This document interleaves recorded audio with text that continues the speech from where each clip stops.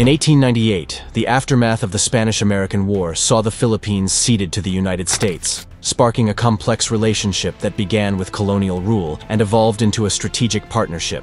This historical backdrop sets the stage for understanding the multifaceted ties between the two nations, which have been shaped by geopolitical, economic, and cultural factors. Today, the U.S.-Philippines alliance is a critical component of regional stability in the Asia-Pacific, particularly amid rising tensions with China, highlighting the ongoing significance of this enduring relationship.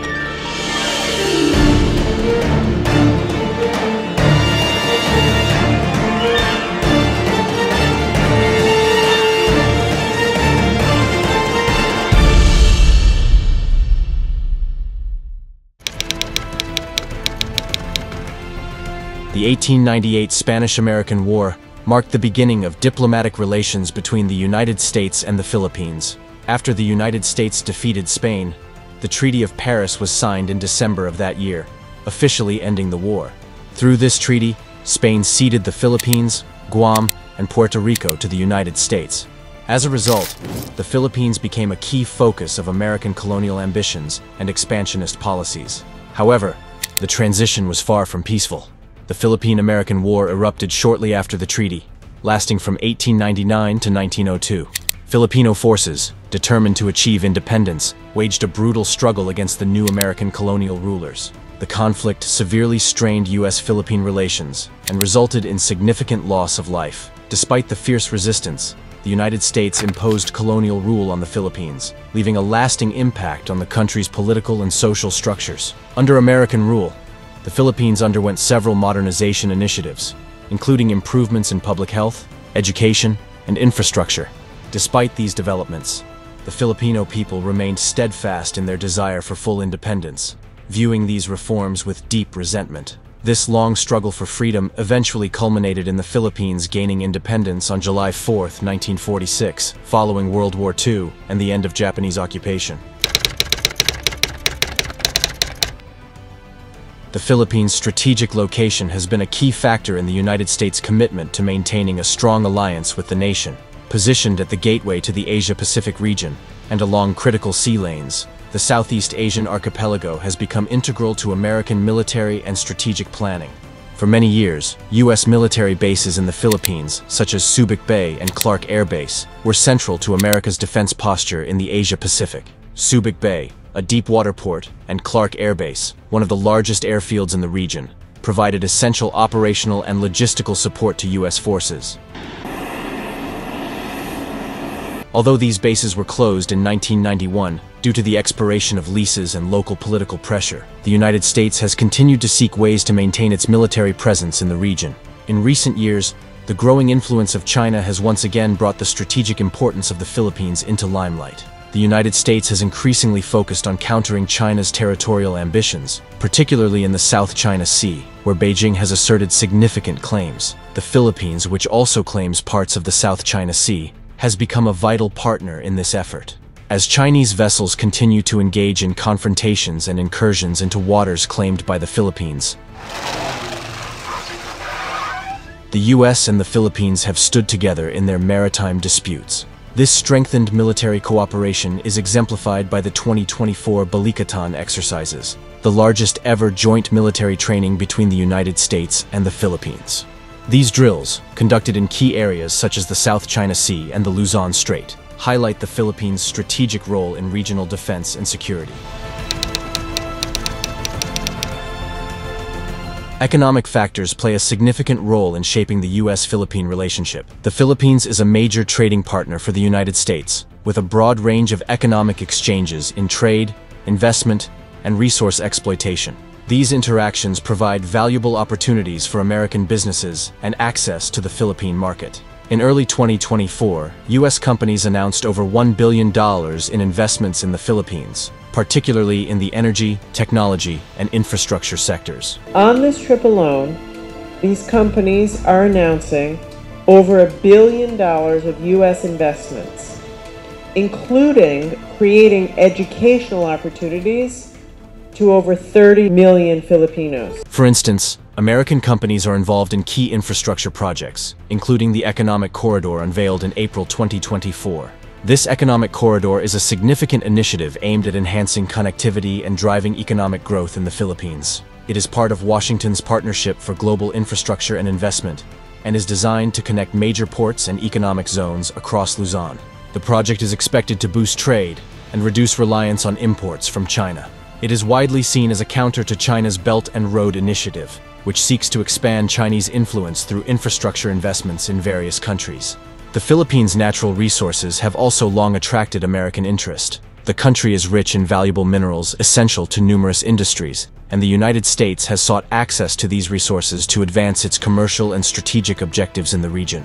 The Philippines is indeed an important trading partner of the U.S. The trading items include semiconductor devices and computer peripherals, automotive parts, electrical machinery, clothing and textiles, coconut oil, and ITBPO services. The exports from the U.S. include cereals, like wheat, machinery, agricultural products, and raw and semi-processed materials used in manufacturing electronics, semiconductors, and transportation equipment. The bilateral economic partnership is further supported by agreements like the Trade and Investment Framework Agreement, TIFA, signed in 1989, and a tax treaty. These agreements promote trade and investment between the two nations. Country must become an investment destination. Ecozones will be fully supported to bring in strategic industries such as those engaged in high-tech manufacturing, health and medical care, and all emerging technologies. Cultural and social ties are also crucial aspects of the relationship between the United States and the Philippines. American influence is evident in many aspects of Filipino life, including language, education, and media. English, one of the official languages of the Philippines, is widely spoken and reflects the enduring impact of American colonization. To support friendship, uh, to support unity, and coming together, learning about different cultures, coming together as one, unity. The country's educational system was heavily influenced by American models, helping to establish a shared language and cultural foundation. The migration of Filipinos to the United States has significantly shaped the socio-economic landscapes of both nations. As of 2024, an estimated 4.5 million people of Filipino descent, including both immigrants and U.S.-born individuals with Filipino parents, reside in the United States. This large population is the result of a long history of migration that began in the early 20th century and has steadily grown in recent years. The large Filipino-American community plays a vital role in strengthening U.S.-Philippine relations.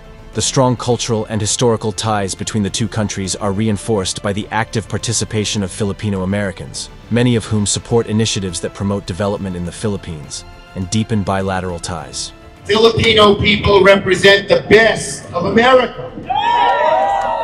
Hardworking, loving family, caring about education, being respectful of their neighbors, making sure streets are safe, making sure their kids have a better opportunity than they did. The Filipino community embodies the American dream. On behalf of all our Filipino bishops in America, may the Lord bless all of us here.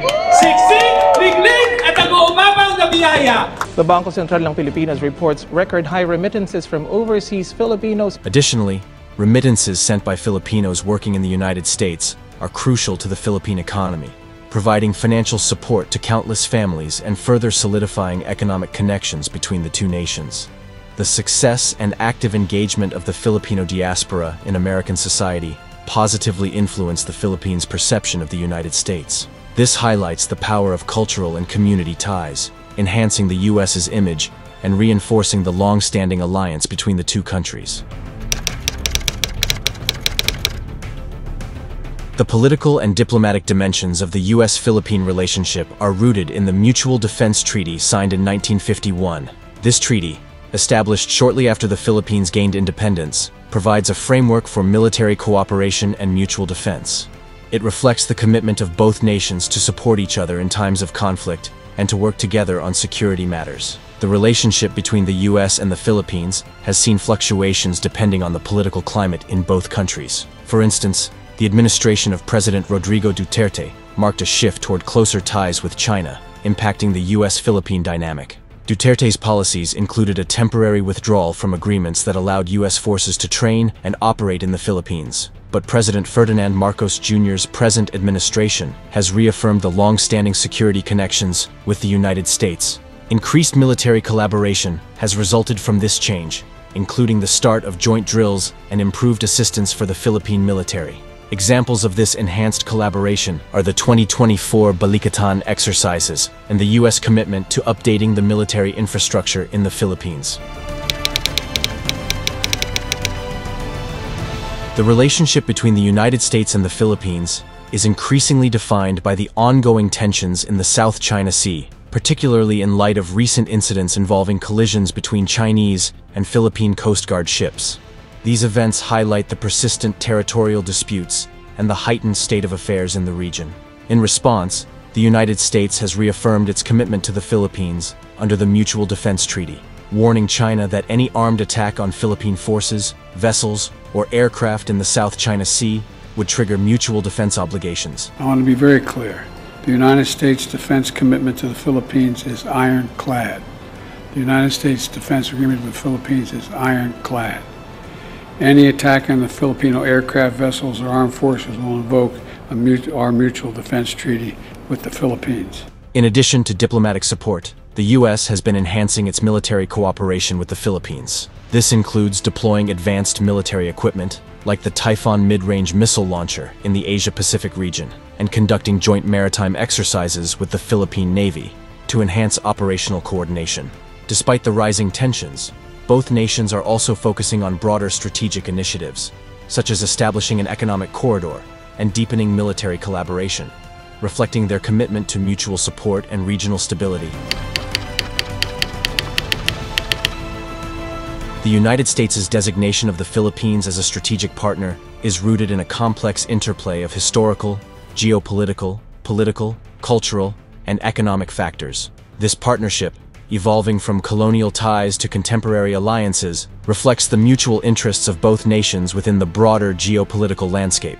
The Philippines' strategic geographic location, economic potential, cultural connections, and political dynamics make it a key ally for the U.S., particularly in the context of shifting global dynamics and regional security concerns driven by China's rise. As the partnership moves forward, its stability and strength will likely be influenced by domestic political changes and broader geopolitical trends, necessitating continued cooperation between the two nations. Thank you for tuning in to our channel. If you enjoyed the video, please remember to like, share it with your friends, and subscribe to our channel for more in-depth analysis of global issues.